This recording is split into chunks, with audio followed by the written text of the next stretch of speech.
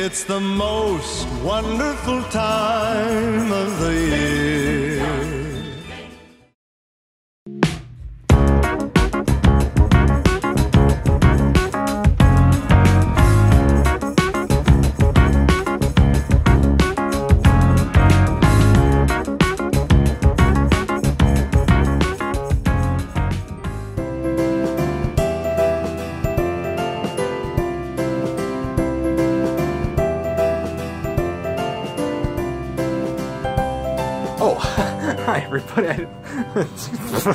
nothing. nothing. Um, uh, hi everybody. Welcome to another uh, Vlogmas day uh, here at, uh, at the Radman Galaxy. Um, gonna be doing another uh, countdown video, so let's uh, let's get into it without dilly dallying. Uh, th these are the videos where we kind of look back and do a, a, a retrospective of all the good times we had here at Axel Vlogs, and today we're gonna be looking back at some of the greatest. Also, like we always do, we're gonna be looking at some of the not so greatest.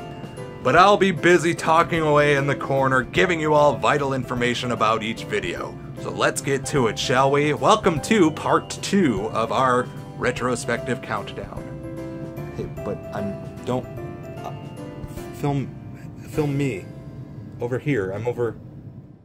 I got my list right here. That list is down to number four, I think. We're doing number four because we skipped ahead. So let's do it. Let's get into the episode on the countdown. Number four, everybody. It's episode 122, early morning on Mackinac Island. And as always, I'll be in the lower corner giving you some live commentary.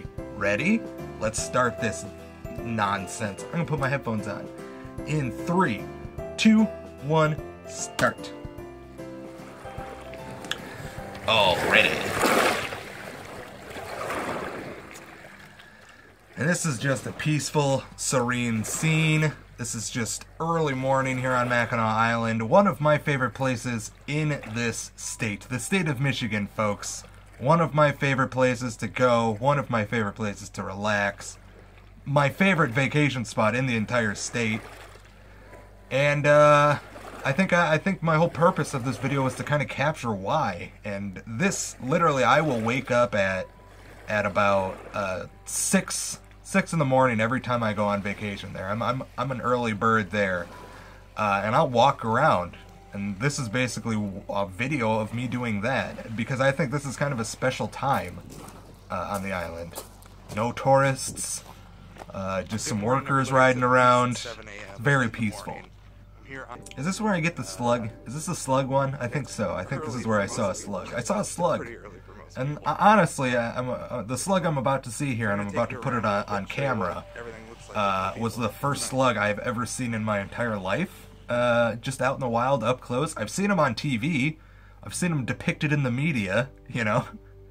And uh, this is my first slug interaction. So let's let's let's let's have a look at this the slug interaction here, folks, because it's a first. Uh, you, you, you never forget your first your first slug. Here it is, Slugsworth. Slugsworth. Um, he's after Willy Wonka's uh, formula. But he's a cool guy for the most part. Yeah, those things are weird. They look like aliens, but they're awesome, and I love them, and they're kind of cute. Just look at how nice it is there. You you can hear the birds chirping. You, you, you can see there's not a lot of people around. All that gunk on the street you there. That uh, you see you see behind me. All that gunk on the street. That's horse poop. There's no bikes. I mean, there are no cars. There are only bikes, and there are only horse-drawn carriages and buggies. Buggies is a fun word to say. So there's horse poop all in the street, but there's no car traffic. There's no automobiles to worry about. And just look at this. I did a hand movement exactly at the same time I did a hand movement in the video. I don't think I ended up renting bikes from this place, although I wish I had, because the bike that I did rent uh, was uncomfortable and did not allow me to cruise for the entire day. And it was also very expensive. Uh, bike rentals tend to be kind of expensive especially if you do overnight like I tend to do. I, I like to keep the bike for a couple of days.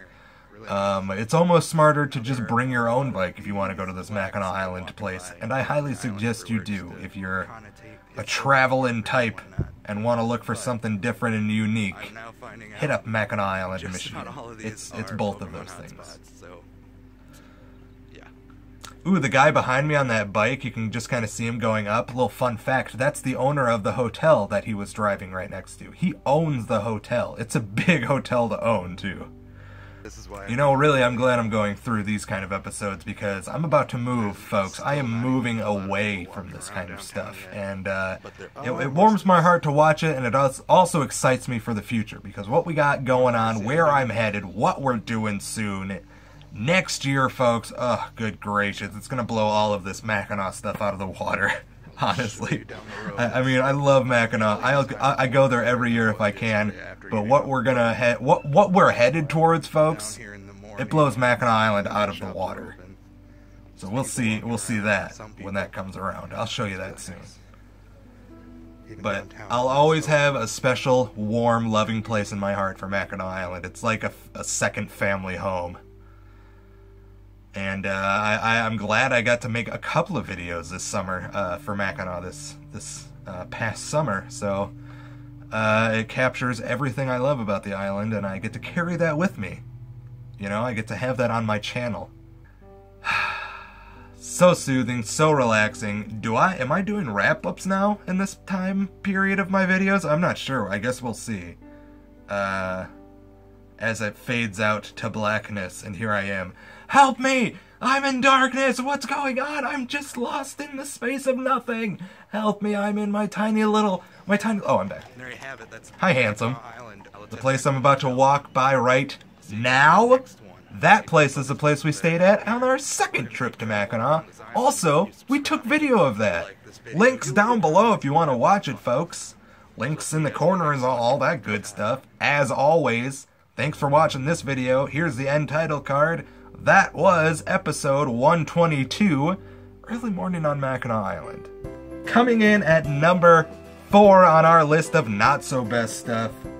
Whoo boy, it's gonna be rough. We'll head over there in just a sec. Okay, everybody, moving on to the not so best portion of our show. Uh, we gotta look out. We gotta always look at our our our not so greatest moments here of the year, and we gotta reflect on that and uh, why it wasn't so great. So, 111 episodes in, uh, we get episode number 111. We have editing after I slipped a disc in my back. Let me preface this a little bit, folks. Um, I have a bad sciatic nerve thing going on in my in my lower vertebrae. Also, at that time, right as my back started going out, uh, I had a documentary I was editing, and I was deep into the production of a documentary project um, for my for school. And in three, two, one, play. All right, And it's starting off raining. Perfect. Cheers. And it also looks like I am holding the phone, everybody. I should really turn this down. I got a real tight hat on, everybody. I love that hat, but it does not fit my head very well. I, I still wear it because I love it. It's a, it's a Mackinac Island hat. I'm gonna wear it regardless of what's going on. I love it, but it, it definitely is too small for my big ol' head. That's right. This was also right around my birthday. my gosh, I I remember my birthday this year because my back was out, folks. I spent my birthday lying in bed with an ice pack on my lower back. Uh, I wanted to go to Dave and Buster's, but couldn't do that. And it, it's true. He, he he's in a lot of pain, but he's still putting every inch of effort into this project, doing everything he can, trying to get it done. Even though he's in an, an insane amount of pain. I can attest to that because that boy me, that boy me. Now watch this. Because you can totally see it in my posture in the way I'm sitting at a certain point. I become super hunched over. I'm also pretty good. I'm, I'm available for voiceovers, folks. If you want me to you know, provide you a voiceover, I can do it. You guys know what kind of voice I got. I got a voice like this. I can do this voice uh, very, not all day. I'm even losing it right now as I'm talking. I have taken vocal classes for this, for specifically for speaking on mic. data that this legitimizes your theory as more of a scientific I know how to read ad copy. I know how to read on-air stuff. I know how to be an on-air personality. I think I I think I'm supposed to host a podcast. I think that's my my my, my life's work building towards that. And here I am, just doing the work. I am doing the work. I had an entire script of lines to record that day and I spent probably 3 3 hours in there working on this. So my back was hurting the entire time. I brought like I brought some ibuprofen try try to relieve the the the, the nerves, trying to do that kind of stuff, but nothing helped. I still I still have trouble with it, folks. I still go to a chiropractor at least once a month to try to not feel in pain. I, I, I was distracted because look at how I'm leaning on the uh, the table. My I got one arm kind of leaning on the table. That's because of how bad my back hurts. I had to be like this. I had to lean to the side, and I also walked at a slant for probably a month. Like I walked like I was slanted, like I was a slanty boy.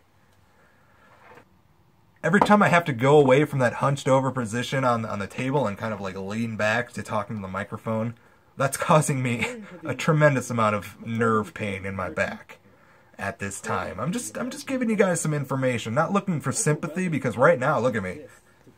I'm perfect. My back I'm a loosey goosey. I go to a chiropractor, I exercise, I'm a healthy boy. I drink water, folks. Being a lazy boy, focusing on school, doing nothing but sitting in class all day, not going out afterwards, not doing any kind of exercising. That's a recipe for a pinched nerve in your back, everybody. So actually, I have had plenty of sciatic nerve pain. It's funny you should ask. If you, anybody out there has had sciatic nerve pain, have had any kind of pinches, uh, I'm going to give you my recommendation. Number one, talk to a chiropractor. If that freaks you out, it did me. It freaked me out. I was too afraid to go for the longest time. Finally, I got into this position. I went to a chiropractor. I got adjusted. Whew, my goodness, when I walked out of there, I felt like a completely different person. I was upright temporarily because it's a it's a it's a procedure. You have to keep going in. But I felt like a completely different person. Human beings. So, uh, But yeah, might as well just set take care of yourselves, everybody. Drink water. Drink plenty of water. to you in Because if you don't, another video, hopefully. you'll be like this boy on this screen, completely immobilized by his back. That's not because of the water, though. That's because I just. So many reasons. Oh, good. The old school version of uh, the title card screen, the end title. This was like brief. This was super brief. But yeah, I'm glad I could give you guys a little bit of a rant on what to do if you ever get into a situation like I did, where your back goes out on you. It is not good at all. It is terrible. But thanks for watching this, everybody. This was the not so great moments of 2017. I'm glad we got to go through it again. It was really eye opening, and I got to provide you all with useful sciatic nerve information. Thanks, everybody. We'll wrap this up in a second. Well, I hope you're all enjoying this look back at the year 2017 with a little bit of my commentary coming along with it. Uh, if you enjoyed this video, feel free to click the buttons down below, click the description, look at all the links. You're gonna wanna click them, folks. Leave a comment, like this video, and subscribe to come back for tomorrow's Vlogmas video, because you're gonna wanna stick around for that. Santa, you wanna sing us out, friend? He's shy. He's not going to sing because he's a Pez dispenser, folks. I'll see you guys in the next one. Bye.